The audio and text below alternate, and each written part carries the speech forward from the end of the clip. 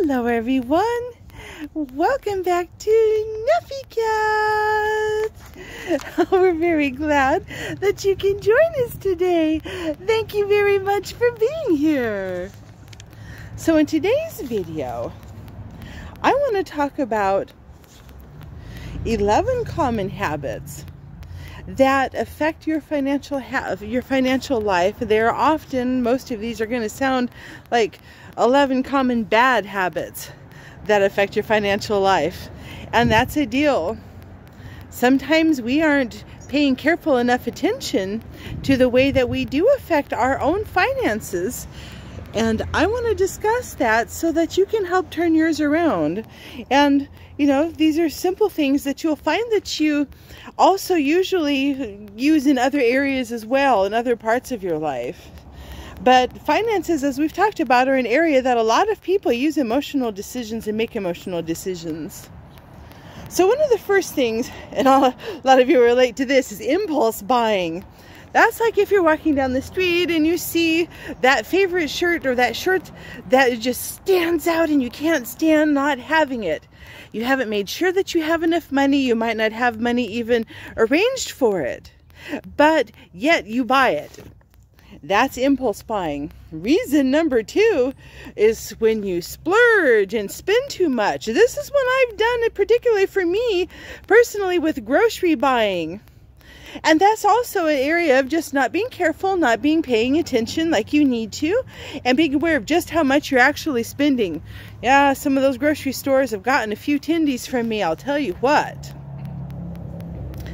Number three. I think a lot of us will relate to this procrastination. Putting things off that we shouldn't, knowing we have certain things that we need to do and to take care of, and then putting it off. Not taking care of it in time, sometimes maybe even being late, sometimes just sometimes not taking care of it like we need to, for whatever reason. Uh, we also sometimes do our best, subconsciously at least, to avoid the situation. We'll use avoidance.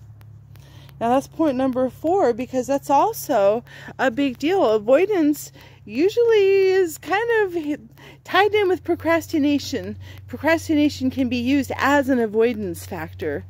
But when you're having trouble financially, or even when you perceive you are, and you avoid looking realistically at your money, you're making your situation so much worse. And you deserve to have the respect for yourself to take care of that, to treat your money with respect, to treat your finances with respect. When you do choose to not avoid things and to face things, you're making yourself have a better future. You're taking, you're, um, you're choosing respect for yourself and for your life. And it's very, very important that you do and very, very worth it. Sometimes avoidance can, you know, seem seem like a convenient way to handle the present, but it really isn't because it affects your future. And so sometimes you'll have a momentary seeming reward, say if you didn't deal with something that you should have and you avoided it through procrastination. Then that next week, when that bill becomes due, or when your credit rating is affected and you're wanting to buy a house, your choice now will have affected then so you really need to think about this one. This is something for all of us that are working on improving our finances and on financial education and intelligence to deliberately work on.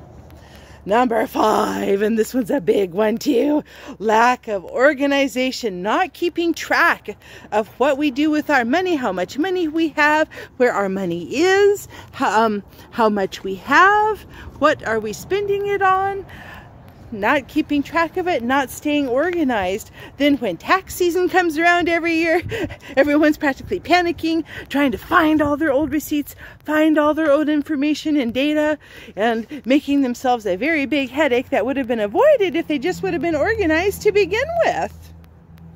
So that's an area, you know, one of the little tips to help with that one is just doing something like keeping a spreadsheet then you can keep receipts and monthly expenses and things with those spreadsheets as you fill them out. You keep something like a folder that you have everything in, whether it's an online folder, a physical folder, or both. and it can make it a lot easier for you. Things you can do to help with impulse buying or splurging too and that is to give yourself a small amount of your money. You know how we save 10%? Well, maybe give yourself 10% that you'll let yourself impulse buy.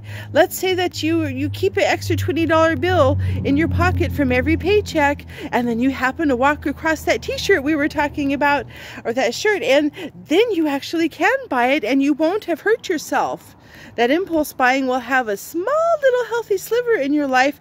And I also find that doing things like that keeps it from ever taking over so that you'll spend money that you shouldn't. And same for splurging. When you're doing something like going to the grocery store, give yourself $10 to go spend on something extra like a ice cream or whatever new thing, you know, whatever you're wanting that just looks too delicious to pass up. Number six, this one I have been guilty, most of these I have been guilty of at one time or another in my adult life. Not prioritizing your financial management.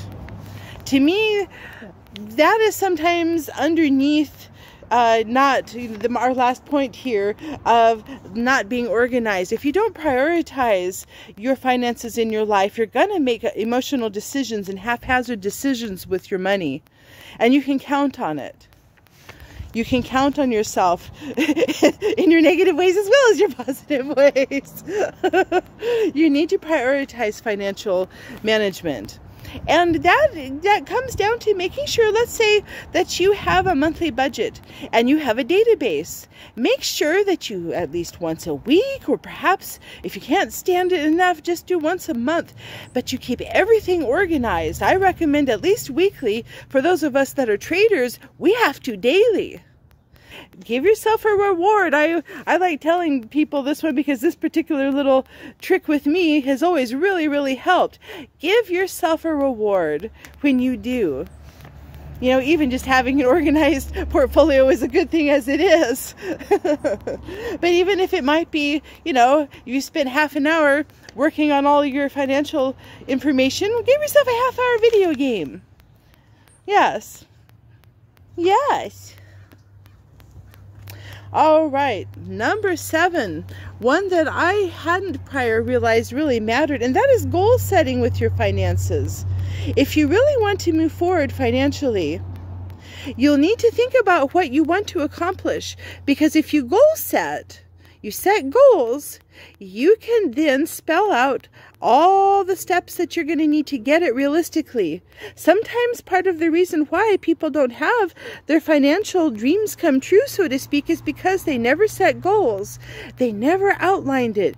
They never took the step by step time to learn and figure out and keep track of things so that they could create that. It is oftentimes those simple little things that keep people from success. And those bad habits can really hurt us.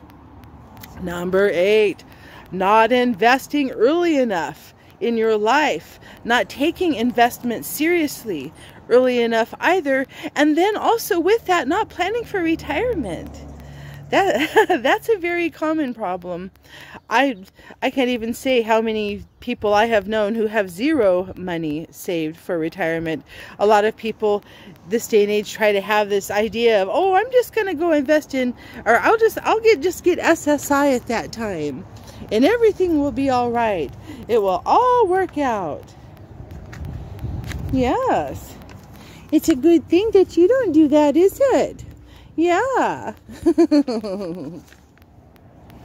you know that you need to set kitty goals if you want to have successful hunts. And you know that you need to invest. Yes, some kitties save things. Yes. Sometimes behaving like little pack rats. but for us humans and for the sake of our little loved ones like this, we need to invest. We need to plan. We need to make sure that our futures and thus their financial futures are in good order.